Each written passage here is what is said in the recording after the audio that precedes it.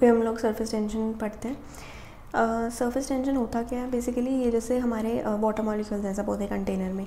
तो यहाँ के जो नीचे वाले मॉलिक्यूल्स हैं, इनको यहाँ पे भी फोर्स लग रही है, इसके थ्रू यहाँ से भी फोर्स लग रही है, इसके थ्रू यहाँ से फोर्स लग रही है और इसके थ्रू यहाँ पे फोर्स लग रही है।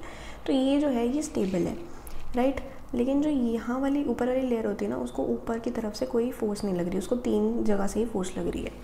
तो जब तीन जगह से फोर्स लग रही है तो फिर ये जो ऊपर वाली लेयर है, वो टेंड करती है कि वो वो अपने आप को श्रिंक कर ले। क्योंकि ऊपर से उसको खोल के रखने की कोई वो नहीं है, कोई फोर्स नहीं है। ठीक है? तो फिर ये वाली जो लेयर है, ऊपर वाली, ये सारी की सारी जो है, देखो ना, ये वाली है, इधर फोर्स इधर फोर्स इधर फोर्स पर है ही नहीं। तो फिर ऑब्वियसली अगर तीन जगह से लगेगी तो जो इसका रिजल्टेंट आएगा, वो इधर ही आएगा ना? वो इधर ही आएगा। तो फिर वो रिट्रैक्ट करने की कोशिश करेगी ऊपर वाली लेयर रिकॉयल करने की कोशिश करेगी बेसिकली ऐसे ही जो हमारी एल्वुलाई है, ये हमारा एल्वुलाई है, ठीक है? इसके आसपास यहाँ पे भी ये वाली लेयर होती है वाटर की सपोज़ ठीक है? तो फिर यहाँ पे भी ये भी टेंट करता है कि ये रिकॉयल हो जाए मतलब अपना ये कोलैप्स हो जाए, अगर हमारी सरफेस टेंशन एक्टिव रहेगी। ठीक है? तो इसको खोल कर रखने के लिए हम लोग क्या यूज़ करते हैं? हम लोग सरफेक्टेंट यूज़ करते हैं। हम लोग नहीं यूज़ करते कि नेचर ने यूज़ किया हुआ है और इसको ऑलरेडी सरफेक्टेंट दिया हुआ है। अब सरफेक्टेंट होता क्या है? सरफेक्टेंट एक और कौन सिक्रेट करता है? Type two alveolar sorry type two alveolar alveolocyte या एल्व्यूलर सेल्स कुछ भी बोलो एल्व्यूलर एपिथेलियल सेल्स ठीक है? ये सिक्रेट करते हैं। ये सरफेक्टेंट अब सरफेक्टेंट में दो, अब, अगर हम लोग कॉन्स्टिट्यूशन की बात करें तो उसमें क्या क्या होता है? तो उसमें लिपिड के इंक्लूजन सेल्स होते हैं, ठीक है? वो सिक्रेट करते हैं। जो मतलब वो सिक्रेट होते हैं, ठीक है? अब एक मिक्सचर होता है, जैसे फॉस्फोर लिपिड्स का, ठीक है? प्रोटीन्स का अगर मैं आपको दिखाऊँ तो फॉस्फोलिपिड मेनली कौन सा फॉस्फोलिपिड यहाँ पे यूज़ होता है? हमारा वो वाला लिपिड होता है। डाई पालमेटॉइल को तो ये हमने बनाया है हमारा मॉलिक्यूल सर्वेक्टेंट का। अब इसमें क्या है? हमने बोला था कि फॉस्फोटिड फॉस्फोलिपिड प्रोटीन्स वगैरह होते हैं आयन भी होते हैं, जैसे di palmitoyl phosphatidyl choline phospholipid तो इसका जो फॉस्फोटिडाइल कॉम्पोनेंट है, ये ये है। ये है पालमेटॉइल कंपोनेंट ठीक है? और कॉलिन कॉम्पोनेंट देख लो। और ये जो ए बी सी डी है, ये एपोप्रोटीन है apoprotein A B C D ठीक है? बात क्या है? हमने मैंने ऐसे ईयर्स क्यों बनाया है? क्योंकि ये जो हमारी ऊपर वाली लेयर होती है ना, यहाँ पे ये प्रेजेंट होते हैं। सपोज़ ये यहाँ पे प्रेजेंट है। ये वाला स्ट्रक्चर ठीक है? उसका नीचे भी पार्ट है, यहाँ यहाँ भी पार्ट है, और ये पार्ट भी है। तो क्या होता है कि इसको अब जैसे जो ये वाले मॉलिक्यूल्स थे, बाकी मॉलिक्यूल्स थे, उनकी क्या दिक्कत थी कि उनको ऊपर की तरफ़ फोर्स नहीं लग रही थी? तो यहाँ पे इसको यहाँ पे यहाँ पे यहाँ पे हर जगह फोर्स लगेगी, लेकिन ऊपर भी फोर्स लगेगी। क्यों?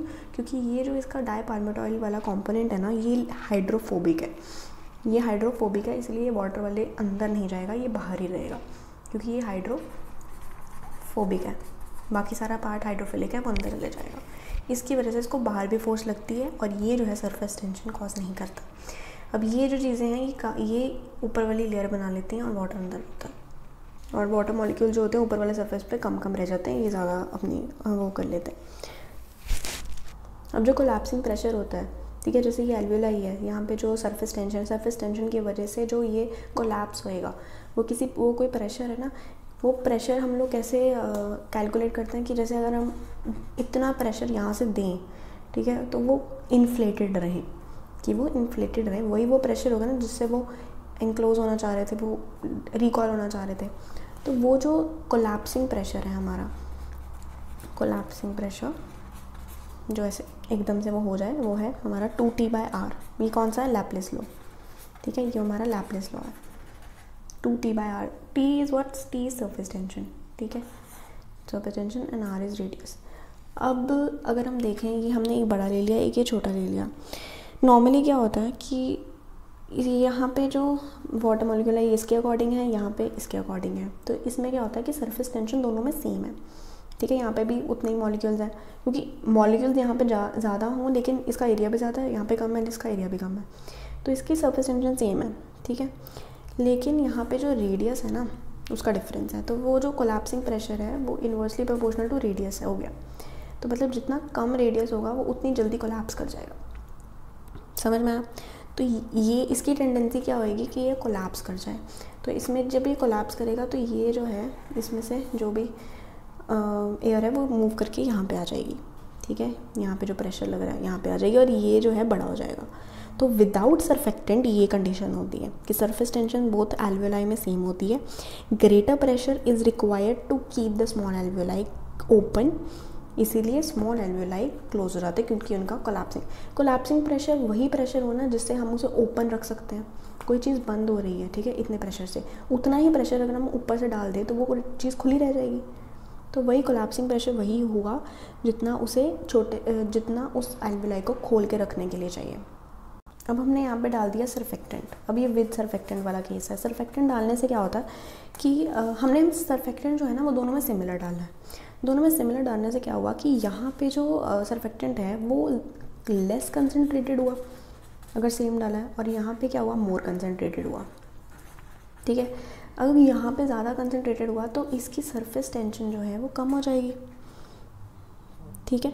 इसकी सरफेस टेंशन ज़्यादा कम हो जाएगी ना तो हम लोग क्या कहते हैं कि with surfactant what happens the surface tension is reduced in small alveoli छोटे एल्वेलाई में सरफेस टेंशन कम हो जाएगी, उससे क्या होगा?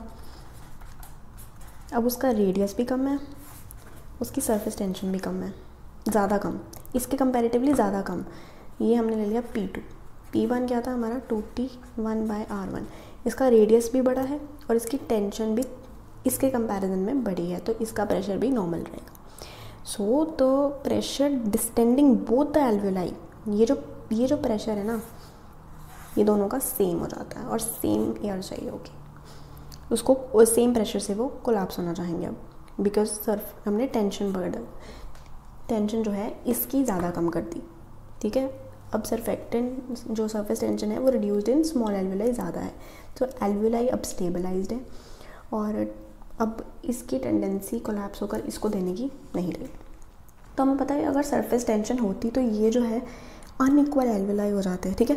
कोई एल्वेलाई अपनी पोजीशन जो है वो मेंटेन नहीं कर पाता, अपनी अपनी इंटेग्रिटी एक तो वो, दूसरा वो कोलैप्स हो जाता है एल्वेलाई ये कंडीशन होती है. तीसरा क्या होता है? परफ्यूजन की प्रॉब्लम आ जाती है अगर सरफेस टेंशन की प्रॉब्लम ना हटती. कैसे? क्योंकि यहाँ पे सपोज़ ब्लड वेसल जा रही है, ठीक है?